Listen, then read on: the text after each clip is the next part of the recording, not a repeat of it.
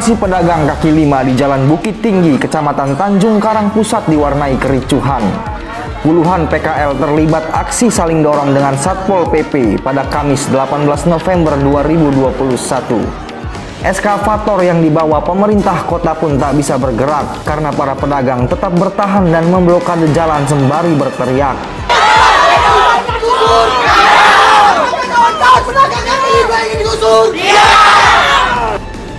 Kepala Dinas Perdagangan Kota Bandar Lampung, Wilson Faisal menjelaskan, penertiban diberhentikan sementara dan akan dikoordinasikan kembali. Langkah ini diambil agar tak terjadi hal-hal yang tidak diinginkan. Pedagang tidak berkenan direlokasi ke lantai 2 dan lantai 3 gedung Bambu Kuning Plaza karena di sana sepi pembeli.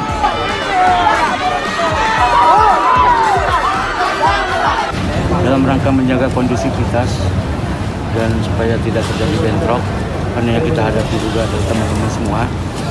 Jadi kami akan berkoordinasi kembali. Jadi insya Allah pelaksanaan akan tetap kita lanjutkan. Untuk sementara kita stop, bukan berarti tidak jadi ya, kita stop dulu sementara.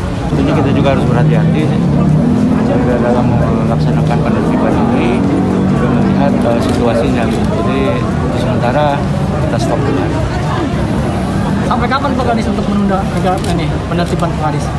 Uh, insya Allah satu, hari- satu dua hari. Satu dua hari ini ya.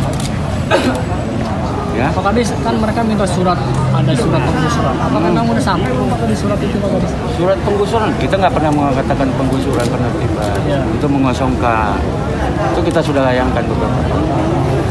Secara administratif kita sudah lakukan semua. Bahkan siang tadi kita rencanakan memanggil mereka. Salah satu pedagang mengatakan tetap tidak ingin digusur dengan alasan mencari nafkah untuk keluarganya. Tetap kita tidak mau digusur. Kami PKL di sini, jadi jalan Bukit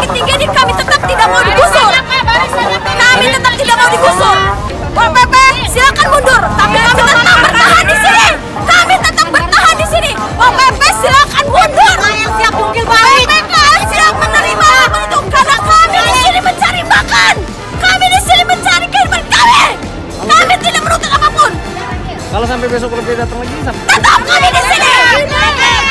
Tetap kami di sini. Tetap kami di sini. Kami menolak